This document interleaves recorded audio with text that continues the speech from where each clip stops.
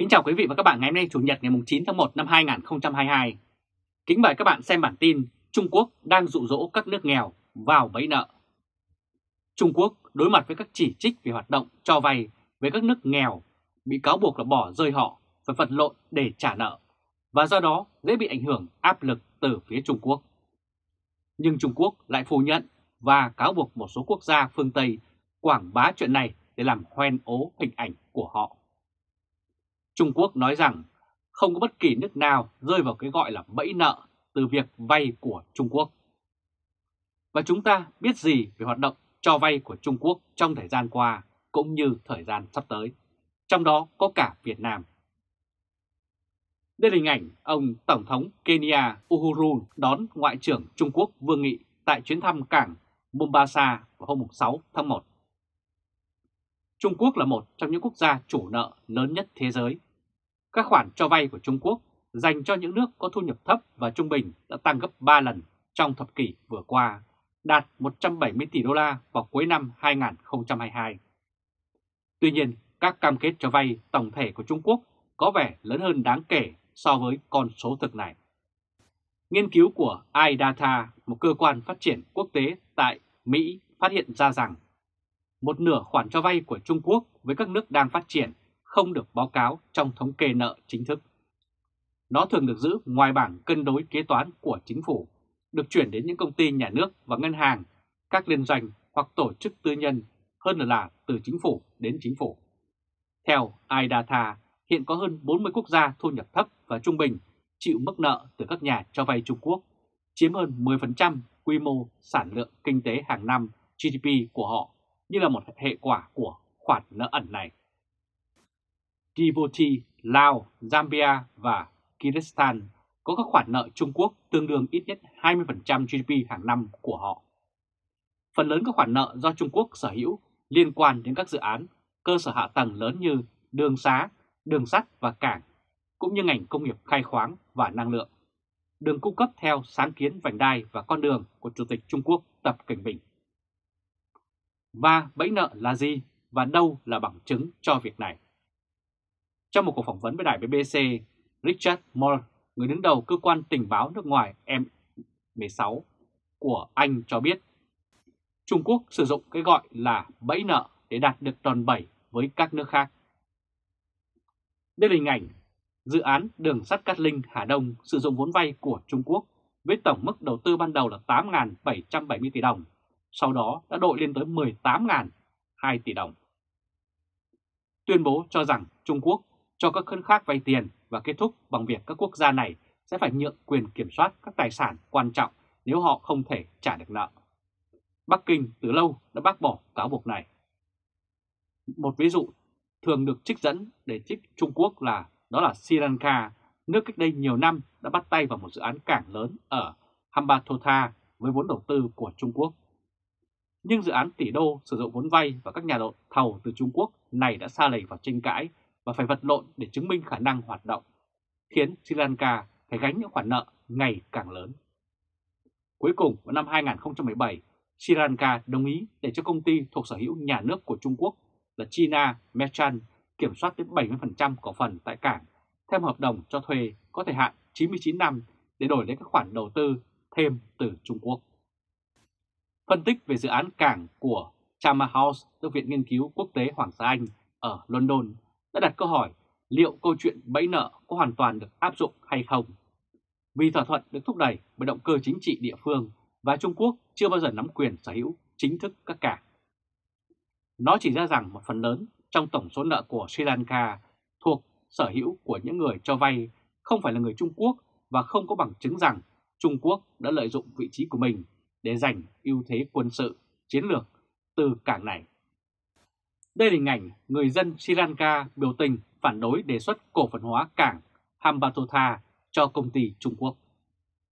Mặc dù vậy, có rất ít nghi ngờ rằng sự can dự kinh tế của Trung Quốc vào Sri Lanka đã tăng lên trong thập niên vừa qua và những lo ngại vẫn tồn tại rằng điều này có thể được sử dụng để thúc đẩy tham vọng chính trị của nước này trong khu vực. Có những nơi khác trên thế giới mà các khoản cho vay của Trung Quốc cũng đang gây tranh cãi. Với các hợp đồng cung cấp điều khoản có thể tạo lợi thế cho Trung Quốc với các tài sản quan trọng của nước đi vay. Nhưng không có trường hợp nào trong số hàng trăm thỏa thuận cho vay được nghiên cứu bởi iData và một số nhà nghiên cứu khác về việc các công ty cho vay thuộc sở hữu nhà nước của Trung Quốc thực sự thu giữ một tài sản lớn trong trường hợp vỡ nợ.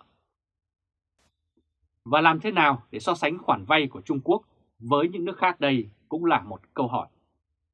Trung Quốc không công bố hồ sơ về các khoản cho vay nước ngoài của mình và phần lớn các hợp đồng của họ đều có điều khoản không tiết lộ nhằm ngăn nước này đi vay tiết lộ nội dung của họ. Trung Quốc cũng lập luận rằng tính bảo mật như vậy là thông lệ đối với các hợp đồng vay nợ quốc tế. Đây là hình ảnh các khoản cho vay của Trung Quốc dành cho những nước có thu nhập thấp và trung bình đã tăng gấp 3 lần trong thập kỷ vừa qua, đạt 170 tỷ đô la vào cuối năm 2020. Giáo sư Lê Chôn thuộc trường đại học tại London cho biết, việc bảo mật các thỏa thuận rất phổ biến trong các khoản vay thương mại quốc tế và phần lớn hoạt động tài chính dành cho phát triển của Trung Quốc về cơ bản là hoạt động thương mại. Hầu hết các cường quốc công nghệ đều chia sẻ thông tin về hoạt động cho vay của họ thông qua tư cách thành viên của Paris Club, tức là câu lạc bộ Paris. Trung Quốc đã chọn không tham gia nhóm này, nhưng khi sử dụng dữ liệu có sẵn của Ngân hàng Thế giới, chúng ta có thể thấy rõ sự tăng trưởng nhanh chóng trong các hoạt động cho vay được báo cáo của Trung Quốc so với các nước khác. Các khoản vay của Trung Quốc có khó trả hơn hay không cũng là điều được đặt ra. Trung Quốc có xu hướng cho vay với lãi suất cao hơn các chính phủ của phương Tây.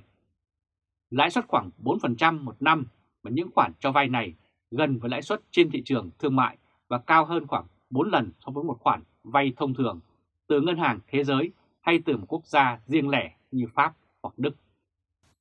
Thời hạn trả nợ bắt buộc đối với khoản vay của Trung Quốc nhìn chung cũng ngắn hơn là dưới 10 năm so với khoảng 28 năm đối với khoản vay ưu đãi của bên cho vay khác dành cho các nước đang phát triển.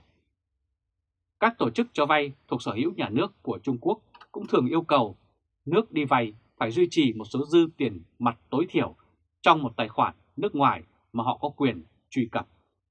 Đây là hình ảnh Tổng thống Maldives ông Yames đã bay tới Bắc Kinh để thuận ký thỏa thuận thương mại tự do với Chủ tịch Trung Quốc Tập Cảnh Bình.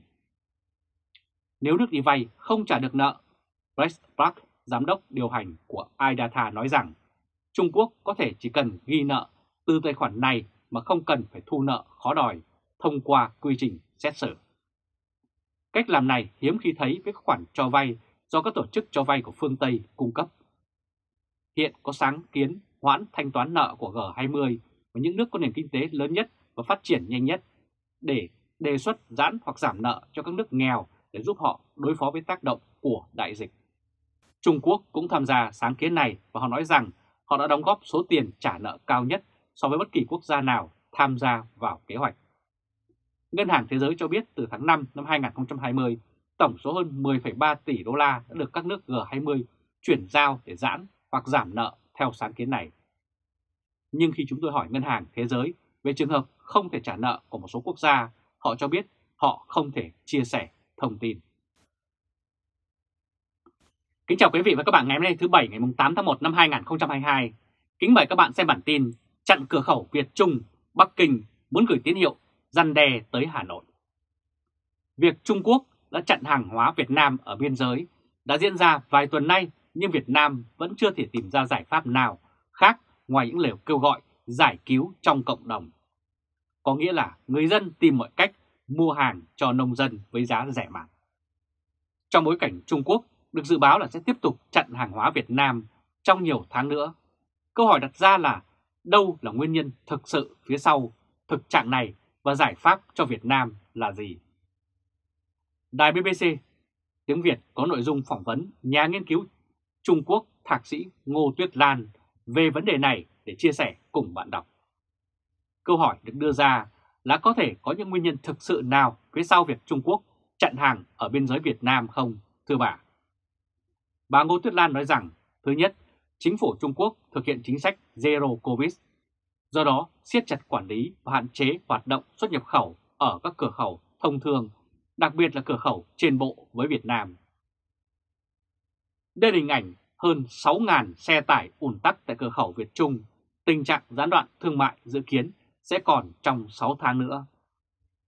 Vào ngày 17 tháng 8 năm 2021, tại cửa khẩu Kim Thành, Lào Cai, Trung Quốc tuyên bố phát hiện dấu hiệu COVID-19 trên trái thanh long của Việt Nam và lập tức ngừng nhập khẩu.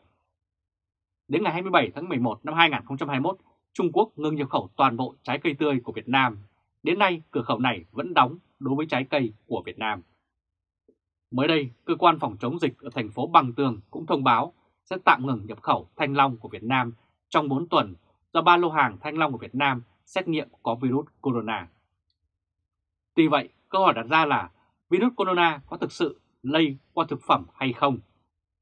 Hiện nay Tổ chức Y tế Thế giới và các nhà khoa học đều chưa nêu rõ không có bằng chứng xác nhận con người nhiễm virus corona qua thực phẩm hay bao bì đóng gói thực phẩm. Điểm thứ hai là trái cây Việt Nam xuất sang Trung Quốc đa phần qua con đường tiểu ngạch, tự phát, rủi ro cao và thụ động khi phía Trung Quốc thay đổi chính sách.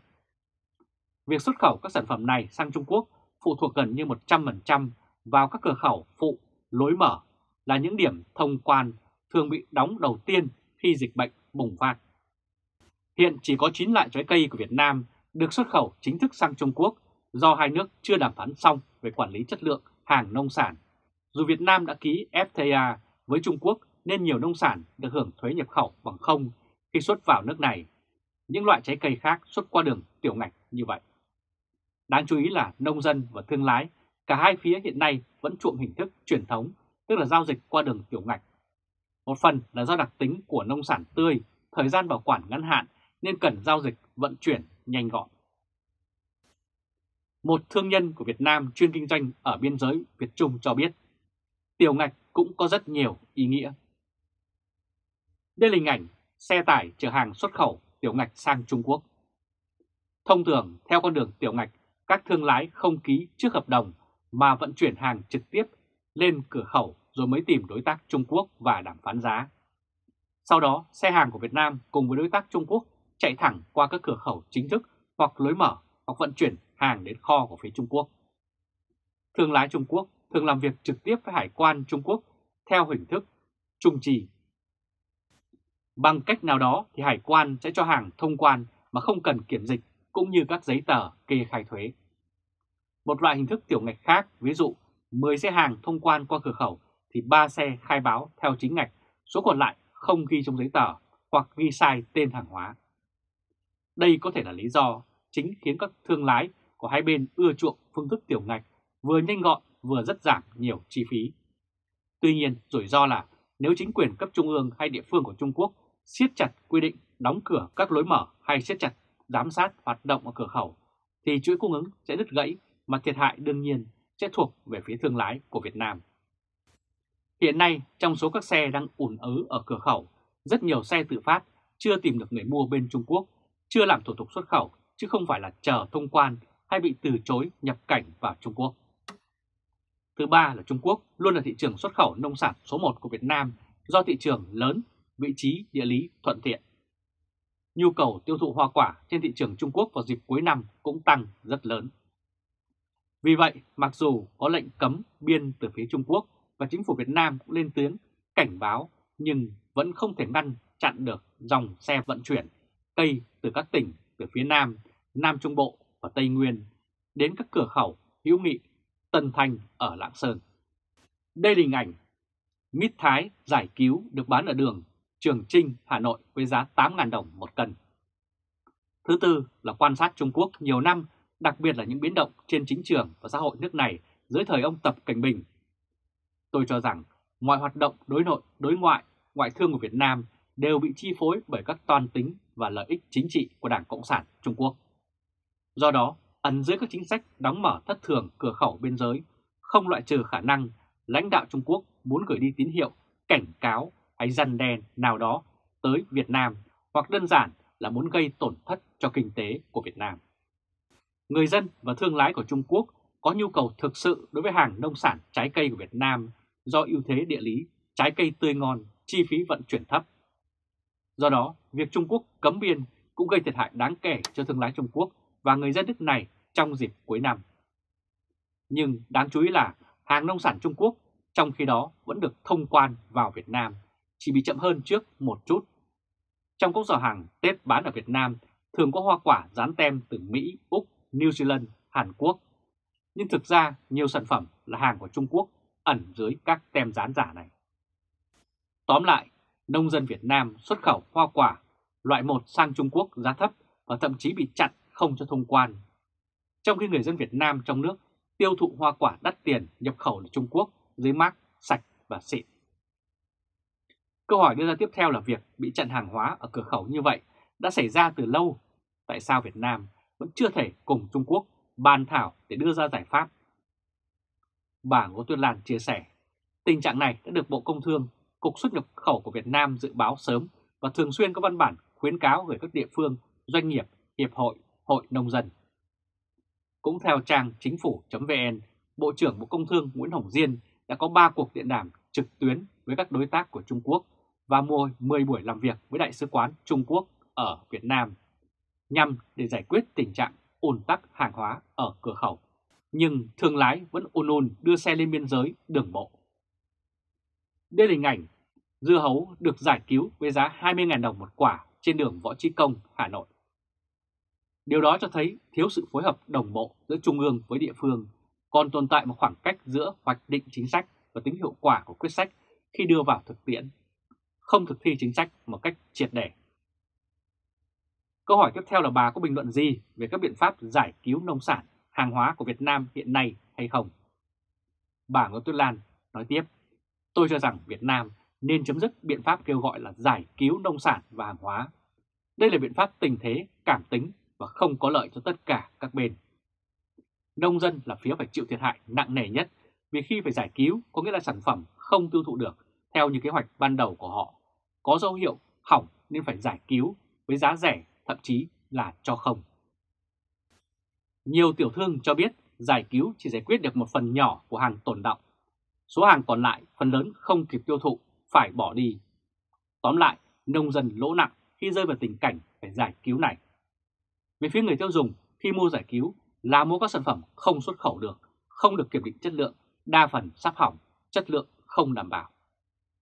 Trên hết là giải cứu nông sản là dấu hiệu của sự phát triển thiếu chiến lược vĩ mô, không bền vững của ngành nông nghiệp Việt Nam và người đứng đầu phải chịu trách nhiệm là ông Thủ tướng Chính phủ. Câu hỏi tiếp theo là giải pháp trước mắt và lâu dài cho Việt Nam trong vấn đề này là gì? Trả lời rằng tôi đồng tình với các giải pháp mà chính phủ, các bộ ngành hữu quan, Đại sứ quán Việt Nam ở Trung Quốc đưa ra là Thứ nhất là tiến tới chấm dứt hoạt động tiểu ngạch truyền thống, không có hợp đồng thương mại, đường mòn, lối mở. Khuyến khích xuất khẩu chính ngạch, hai bên có hợp đồng, mở chứng thư bảo lãnh ngân hàng, hợp đồng bồi thường bảo hiểm, vân vân. Đây là hình ảnh xuất nhập khẩu chính ngạch qua đường cửa khẩu Cát Lái ở thành phố Hồ Chí Minh và chuyển sang vận tải theo đường biển và đường sắt để tránh tập trung về các cửa khẩu đường bộ. Vì hàng hóa vận chuyển bằng đường sắt có thể chạy thẳng vào nội địa Trung Quốc, không cần dừng chờ thông quan. Vừa an toàn trong vòng dịch lại giảm chi phí vận chuyển bằng nửa thời gian vận chuyển bằng đường biển. Thứ hai là đẩy mạnh tiêu thụ nội địa, mở rộng thị trường trong nước, giảm áp lực xuất khẩu. Hiện nông dân và thương lái Việt Nam thường xuất khẩu các sản phẩm loại 1 và bán các sản phẩm loại 2 trong nước. Giá xuất khẩu sang Trung Quốc thấp hơn giá bán trong nước và tiềm ẩn rủi ro khi xuất hàng qua đường tiểu ngạch nhưng nông dân vẫn phải làm vì Trung Quốc là thị trường rất lớn. Tôi cũng cho rằng nông dân và thương lái Việt Nam nên chú trọng hơn thị trường nội địa vô cùng tiềm năng, nên cung cấp hoa quả loại một cho người tiêu dùng ở trong nước. Để người tiêu dùng Việt Nam không phải chờ lúc nông dân kêu giải cứu mới đổ xô đi một cách cảm tính mua hoa quả loại một nay đã không còn đảm bảo chất lượng nữa. Không gì tuyệt vời bằng ăn những hoa quả trồng trên chính địa phương mình sinh sống, phù hợp với thổ nhưỡng, mùa nào thức đó, tươi ngon, bổ dưỡng. Thứ ba là nâng tầm nông sản Việt Nam, đó là đa dạng hóa thị trường xuất khẩu, giảm dần phụ thuộc vào thị trường của Trung Quốc. Sản phẩm đáp ứng đủ chỉ tiêu an toàn vệ sinh thực phẩm theo tiêu chuẩn quốc tế, đăng ký vùng trồng cũng như công tác truy xuất nguồn gốc, mã vùng để tạo điều kiện cho xuất khẩu chính ngạch vào các thị trường khó tính nhất.